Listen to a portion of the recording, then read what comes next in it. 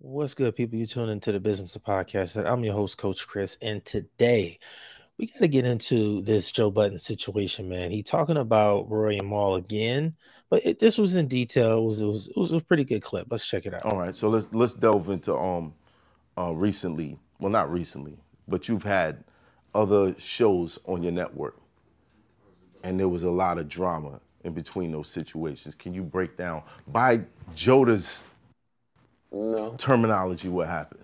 no, No, I can't.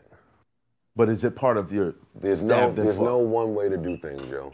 Like, let's start there. That's Right. what it is. And early in podcast land, I was like, all right, it's us at the top.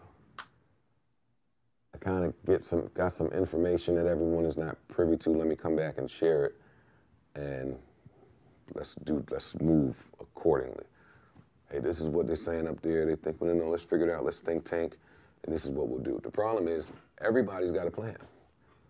You got a plan. You got a plan. You got a plan. Everybody plan might not coexist. This is new space, relatively new space. Okay, but niggas never come and say, hey, we just had creative differences.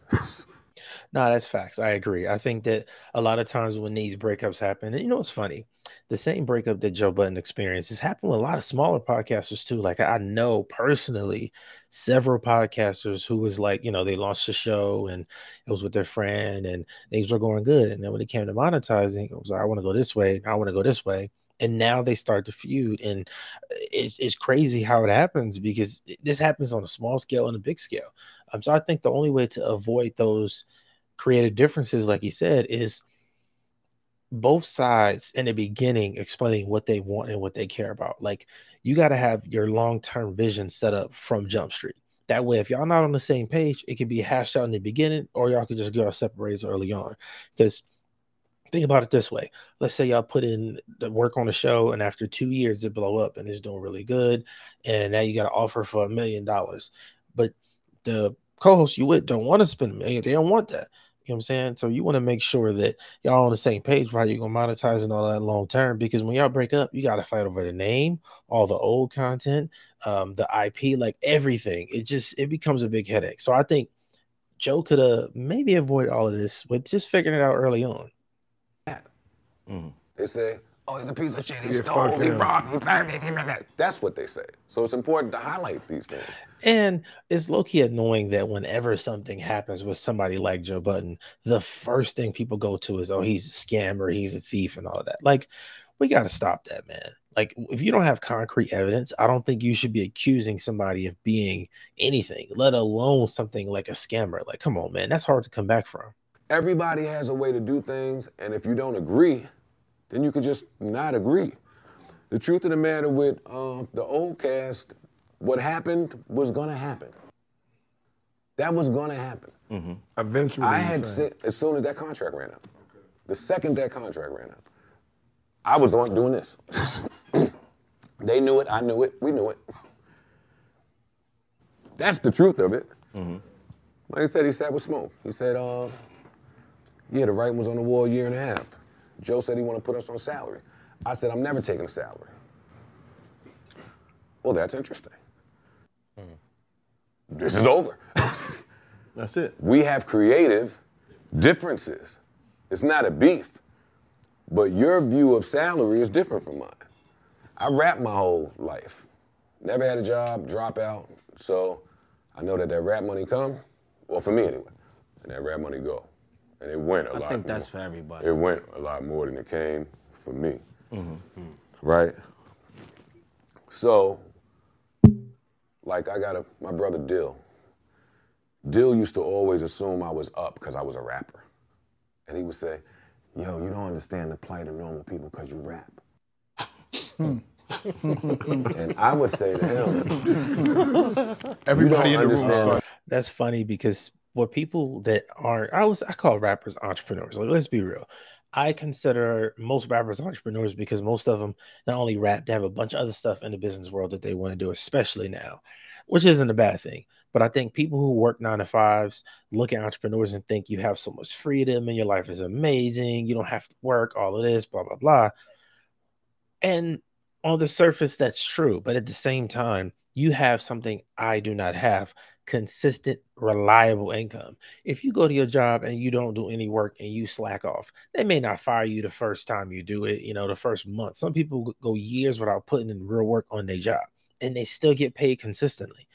As an entrepreneur, as a rapper, as an athlete, like you don't get paid if you don't perform. If you don't show up, you don't get paid. Like if I own a business and I don't put in work and I'm not putting effort and I'm not consistent, I make no money.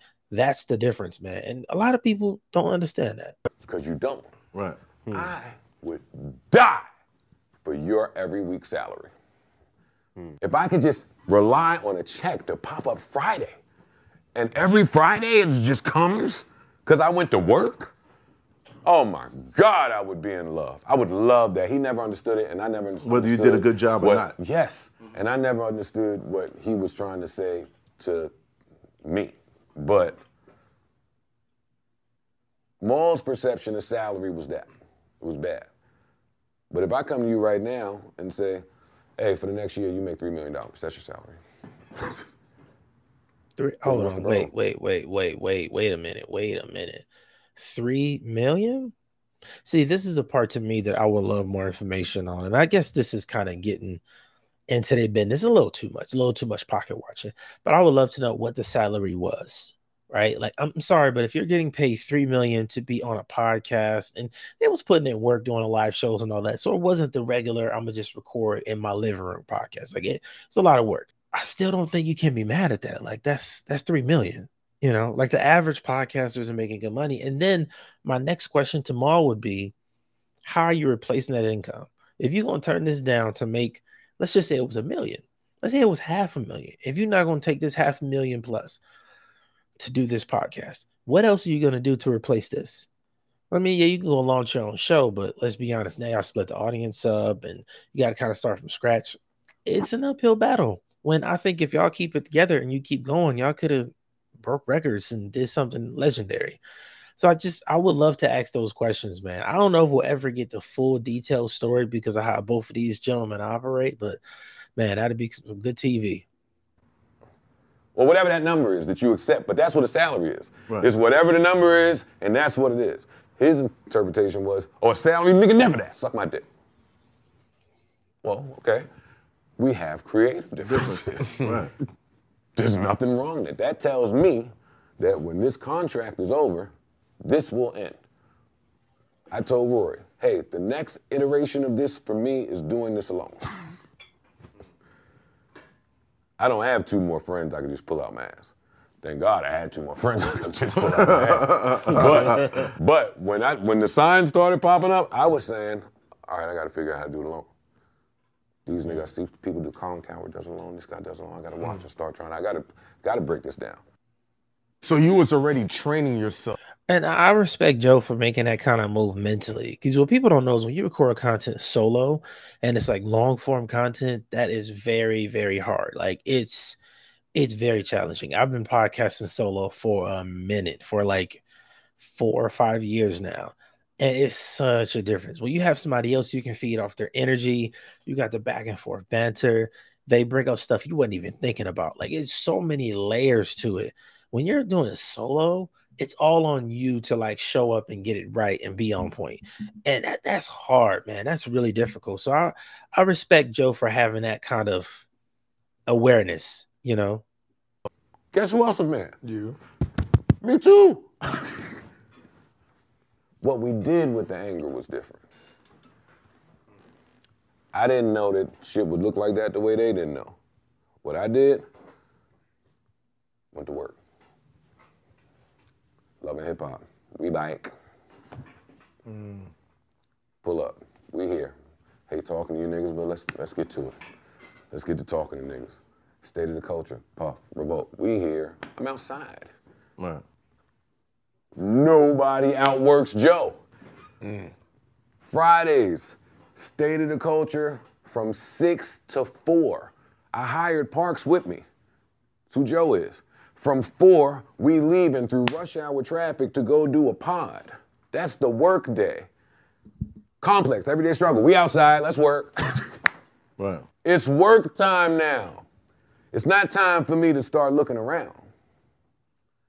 And that's what a lot of people do. A lot of people get to looking around.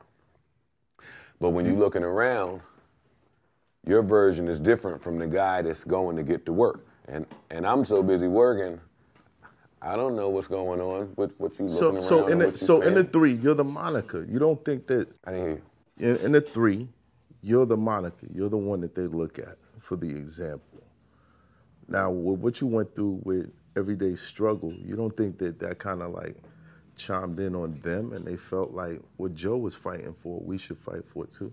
No. Well, I don't know. I can't speak for nobody else. Two different things. Man, I love that Joe explains his perspective on that because I think that when it comes to that breakup and that whole situation, um, I think it could have been handled differently. It should have, obviously, but I do think it- it was bound to happen. Like he said, if I tell you I'm going to put you on salary, but you obviously getting a nice bag, and you're not cool with that, it's not going to work long term. That's just the reality of it. You know, I'm I'm happy to see Rory and Mal out there doing a thing, but I'm also glad that Joe kind of addressed this and dealt with it so it can kind of be put to rest, man. But what do y'all think? Y'all think Joe Budden is still a scammer? I know a lot of people have in their mind he a scammer, he robbed Rory and Mal. So what do you think about Joe Budden?